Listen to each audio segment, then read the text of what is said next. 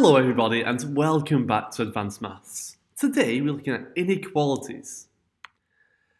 So let's look at, have a look at some inequalities. We've got a number line here and we have some inequalities to discuss. x is more than 3. That means x is any number that's bigger than 3. Okay, and we draw that on the number line like this. We draw it with a circle and a line going upwards, an arrow going upwards from there mean x is going up from 3. For x is less than 5, we draw that as a circle going down from 5 because it's going less than 5, so it's going down the number line. The ring shows that it cannot be exactly equal to 5 because it says less than 5. So the open ring means that it must be less than 5, cannot be equal to 5. Whereas x is more than or equal to minus 2 means that it could be minus 2, so we draw that as a full circle. And again, the line is going upwards because it's more than.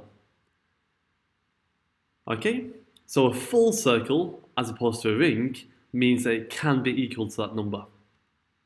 Now finally, minus 3 is less than x is less than or equal to 0. Uh, would look like this. Uh, minus 3 there and 0 there. And we draw a line connecting them. Again, we draw an open ring because it cannot be open to minus 3, but we draw a full circle because it can be equal to 0. Okay. So for example, show the following inequalities on a number line. We've got uh, 2x is less than 3, and we're going to focus on that one first. And we start by rearranging the inequality.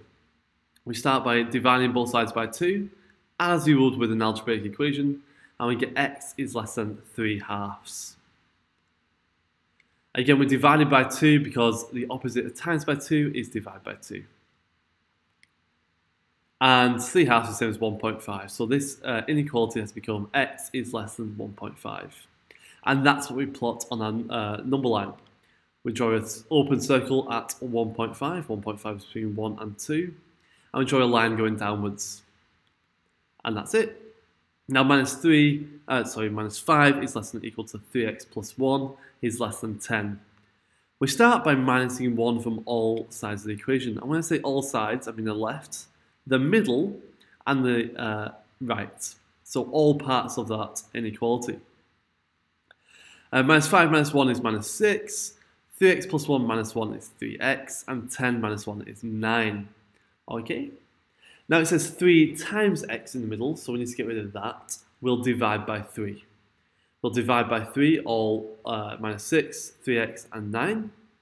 Minus 6 divided by 3 is minus 2. 3x divided by 3 is x. And 9 divided by 3 is 3. We finally get minus 2 is less than equal to x is less than 3. Which on the number line will look like this. Okay? Again, the minus 2 can be equal to x, so we draw that as a full circle. Finally, minus 1 is less than x divided by 2 plus 3, which is less than or equal to 0. Okay, we start by subtracting 3 from all three sides. Minus 1 minus 3 is minus 4. x over 2 plus 3 minus 3 is x over 2. And 0 minus 3 is minus 3. Finally, we multiply everything by 2 to get rid of the divide by 2. And we get minus 8 is less than x is less than equal to minus 6. On a number line, that would look like this. A good tip uh, to help make sure you're doing this correct is to check your answer. You check your answer by choosing a number inside the inequality and making sure it satisfies the original inequality. So here I'm going to choose uh, x equals minus 7. I'm going to see if that works with the original inequality. If it does, I know I've done it correct. So x is minus 7, and we're going to substitute that into the original inequality. Like this. Minus 1 is less than minus 7 over 2 plus 3 is less than equal to 0. Does it work? Well, minus 7 divided by 2 is minus 3.5. Minus 3.5 plus 3 is minus 0.5. And indeed, minus 1 is less than minus 0.5, which is less than equal to 0. And if you thought about that on the number line, you would see that in, that indeed makes sense. If it doesn't make sense when you simplify it, you know you've probably made a mistake. Finally, let's look at a harder case. So here we've got 10 minus 3x is less than or equal to minus 2. And we're going to rearrange this. We're going to sub uh, subtract 10 off both sides. And we get minus 3x is less than or equal to minus 12. Now, uh, we've got minus 3 times x, so we're going to divide by minus 3. So we divide both sides by minus 3. But, here's a trick. If you divide by a negative, you need to swap the sides of the inequality. Because divided by a negative uh, changes the direction of the numbers. And so you have to change the direction of the inequality as well. And so here, when we divided by a negative, divided by minus 3, we needed to swap the direction of the inequality sign. So the final answer is x is more than or equal to 4. Again, just notice the inequality sign has swapped directions when we divide it by a negative. That's the same for if you uh, multiply by a negative as well. And so finally, the inequality is given by x is more than equal to 4, which is this on the number line. Okay? Right, that is all of the uh, examples, uh, but we need to just check our answer first.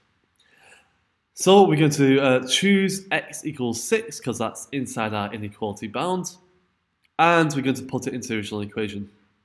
x equals 6, and we put it into the equation 10 minus 3 times 6, which is 10 minus 18, which is 10 minus 18 is minus 8, which is indeed less than or equal to minus 2. And it does appear to work. So uh, we've checked out work and it all works out. Now, uh, some practice questions for you to try here. And I'd like you to draw the top four on a number line and just make sure you're drawing that correctly. Then I'd like to solve the uh, inequalities at the bottom algebraically. So rearrange those equations step by step algebraically and make sure you get the right answer.